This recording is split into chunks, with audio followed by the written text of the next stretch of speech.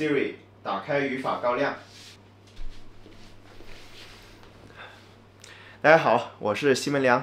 每年一到各种节日，还有女朋友的生日，我都会为该买什么礼物而发愁。现在还有一个月才到七夕，但我的焦虑值已经被拉满了。每当这个时候，我都会拿出我的 Siri，给女朋友送什么好呀？送口红保平安呀。但系送口红真系好卵烦。你在看《梦华录》呢？嗯，刘亦菲这口红颜色不错呀，给你买一支好不好呀？你没搞错吧？我觉得可以呀，你也挺白的呀。我们俩的白。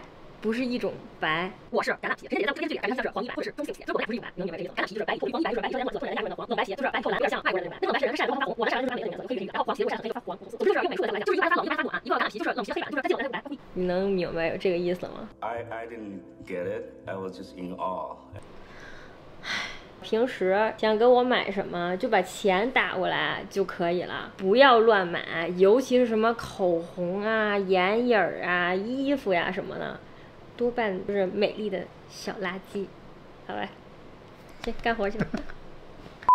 但是作为一个二十年经验的程序员，我就喜欢这种挑战，所以我花了六十六个小时做了一个口红搜索引擎。只要上传女朋友的照片，你就可以知道哪支口红适合她。逢年过节，保住你的狗头。说到搜索引擎，大家可能觉得这只是属于大厂的专利。的确，动动手指就能从互联网的海洋中捞出你想要的那根针出来，没有强大的技术储备和数据支撑是很难实现的。但是随着科技的发展，这些底层技术逐渐的被开源，一个小团队或者是个人想要做出一个搜索引擎出来，也不再是什么天方夜谭了。包括像图片搜索这样的非传统搜索，我在 GitHub 上找到一个叫做 Gina 的库，说是一个叫做神经搜索的 Python 框架。一开始我也不知道神经搜索到底是是什么东西？但是通过阅读官方介绍之后，我就知道了，神经搜索是一种把非结构化的数据通过使用深度学习模型进行编码之后，再进行搜索的一种技术。我感觉这个框架能够帮我实现以图搜索口红的功能。大家可以回想一下搜索引擎里面的图片搜索和音乐搜索这些功能。传统的图片和音乐搜索，更多是把图片、音乐和对应的文字进行关联，再通过文字进行搜索。但是现在有越来越多的算法和模型，能够几乎像人类一样看懂图片里面有什么，或者听懂音乐里面的旋律。这些模型返回来的数学向量，进行各种比对和分析，从而找出相似的结果。找到了搜索引擎的框架。我现在要考虑的是，从一张照片里面，我需要提取什么样的信息才能对搜索口红有帮助？在这里，我想到了和女朋友一起逛街的时候，她在化妆品柜台前试色，她会拿起一个唇膏，像这样，把它打开，然后均匀的涂抹到你的手臂上，像这样，然后反复的去看，看这个颜色。我虽然我一开始也没搞懂，但是我现在知道了，他这么做就是需要反复确认这个颜色跟我们的肤色到底搭不搭。作为一个钢铁直男。我不知道女生的肤色有多少种，也不知道什么样的肤色适合什么样的口红。但是程序员的直觉告诉我，只要我把每个人的肤色和口红的颜色提取出来，然后让搜索引擎返回和我女朋友肤色相近的人都在用什么样的口红，这样我就可以让大数据替我做这个购买的决策，减少翻车的概率。在研究小姐姐们试口红的视频的过程中，我发现小姐姐们的拍摄方式都不太一样。如果用人工的方法去抓取这些颜色的话，那效率就太低了。我花了大概一周的时间试了各种各样的方法，最后我使用了 MediaPipe 脸部特征点映射算法。谷歌团队在人脸的 3D 模型中定义了468个特征点，然后 MediaPipe 可以通过使用机器学习算法，把这468个特征点映射到一张 2D 的图片上面。只要我找的这些试色图有全脸，我就可以稳定的抓取脸颊、下巴。和嘴唇，从而抓取对应位置的像素点。抓到了这些像素点之后，我使用 K-means 聚类算法，把具有代表性的肤色和唇色各提取二十个。然后我需要把这二十个颜色进行进一步的处理。我们知道，计算机表示颜色都是使用了光的三原色 R G B，但是这些数值并不能直观的表示这个颜色的色调。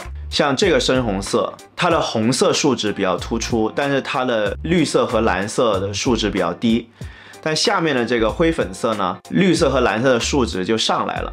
我需要一个更直观的系统来表示这些颜色。恰好科学家们找到了一个颜色的转换方法，能够把 RGB 转换成色调、饱和度和亮度。所以同样的这两个颜色经过转换之后，它们的色调数值更相近。最后我们把这二十个颜色的色调、饱和度和亮度的分布放到摄影圈常用的直方图里面，做成一个数学向量，我们就可以。使用数学的方法计算出两个向量之间的相似值，像这里的四张图试的是同一支口红，虽然眼看上去颜色不太像，但是提取出来的纯色的向量相似度却比较高，这说明了我的算法成功了。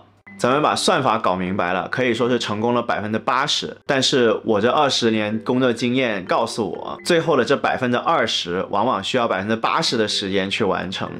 那这个时候，Gina 可以说是给我很大的惊喜。首先，Gina 有一个套件叫做 d o c k e Ray，这是一个非常灵活的数据容器。我既能够同时把文字和数字数据放到里面，我也可以把一张图片或者音乐这些二进制的文档变成一个 NumPy 数组，用最高的效率帮你存储或者是传送到前端。其次 d o c k e Ray 提供了一个非常高效的向量搜索方法，可以让你在秒级之内。完成百万级别的向量搜索，通过 Docker Ray，我很快就构建出来能够表示口红的一个 Python 的类，把我之前在 Notebook 里面做好的算法迁移到 Docker Ray 进行存储和搜索，可以说是非常的方便。至于 Gina 本身，它更像是一个为工程师量身打造的一个神经搜索的框架，有很多机器学习的算法对硬件要求很高。往往都需要用到带 GPU 的机器才能够正常工作，但很多时候我们可能只需要在其中一个小步骤用到 CPU，剩下的用 CPU 就可以解决。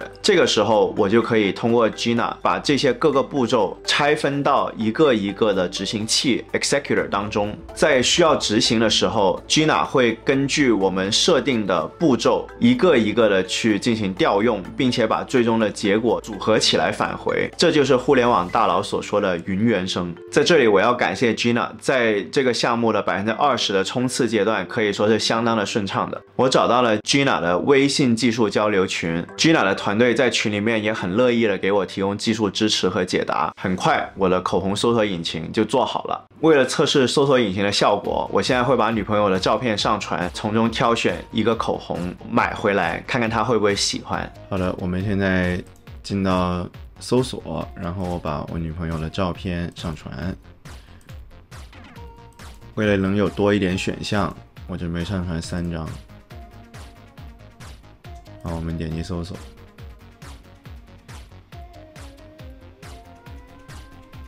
好的，我们来看一下哪一只比较好呢？感觉这三幅图下来都有这个香奈儿的 opportunity，那我们就选这一个吧。days later。哎，你买了个这个？什么？打开看看就知道了呀。给我买的。对呀。不是我俩共用的，你确定？嗯，我用不了这个。用不了了哈。哎呦，哇，这么高级？